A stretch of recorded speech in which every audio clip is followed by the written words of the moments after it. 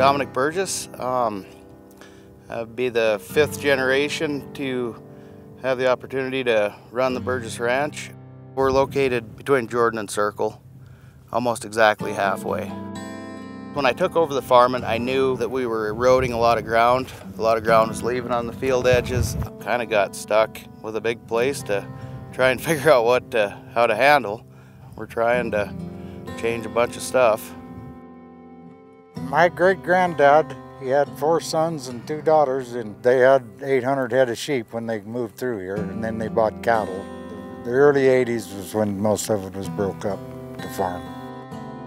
We run 800 animal units in cow-calf pairs. We'll leave them in here for three days and then we'll move them up to the next pasture. We'll cut that pasture in half with a temporary fence.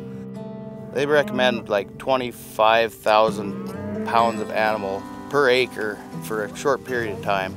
So we're trying to get there. It's a lot of fence to build. Most of the reservoirs in this country were built, you know, 50s and 60s, and they're well past their usefulness. They're mostly silted in or blowing out, so water is really the limiting factor in our area. The cows just hang in the creeks where they have water to drink, and the grass is usually well, but in the uplands, there's no reason for them to go up there because there's no water. We drilled a well at a little bit farther north here on top of a hill. So we're gonna put a storage tank up there and then basically gravity feed everything on the south side of the ranch and then go up to most of his north stuff that he owns. We've probably got 25 or 30 miles of pipeline on the ranch now.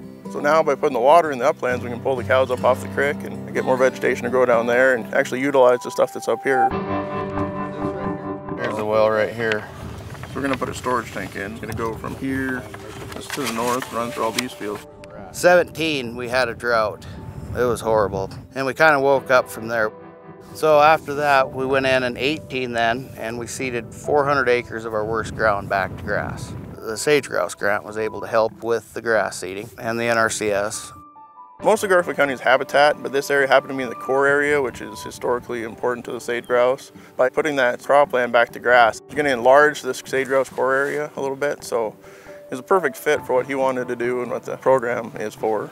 Basically, it's for keeping sagebrush on the ground and grazing that'll enhance the sage grouse. We did quite a bit of work um, mapping and looking at the range and getting information for him to proceed with applying for that grant, which is helping considerably with the costs associated with the projects.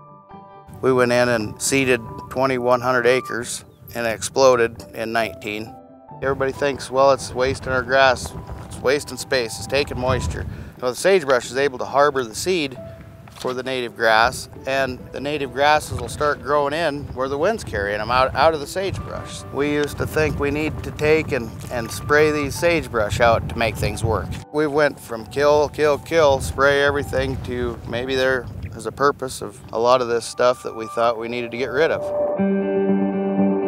This was probably our most unproductive farm ground that we had. The ground's really, really hard here. It's uh, hard clay soil. I don't even know if you'd call it clay or cement maybe. It blows my mind what native grasses will do on marginal soils. We went from farming to a complete drought to the next year we, we planted the cover crops. It was quite an experience to graze cattle rather than run equipment across it. It wasn't primarily wheat farming. The wheat's generally a cool season grass, that's what it is. So by planting some warm season cover crop, variety of different things in there, we've primed the soil to get more biology moving and just give them a little something to eat better before we plant another grass mix in there. So there'll be more uh, stomping and knocking all the old grass down, putting the grass on, getting more cover on the ground, which will help increase our organic matter and infiltration. Also help get the grass seeded down there, which is really what we're looking for. I never thought there would be a profit on the cover crop. But yeah, we were able to actually make some money on the on the cover crop and set the ground up for what we were doing. And the NRCS is great. They see a lot of ranches and we're obviously usually stuck looking at these cows where they're out looking at multiple places every year. They're a uh, wealth of knowledge. It's always nice to see progress, you know, things change for the better. You got to take care of the land or it won't take care of you. I think we're making some really good headway for having two years under our belt. I believe it worked.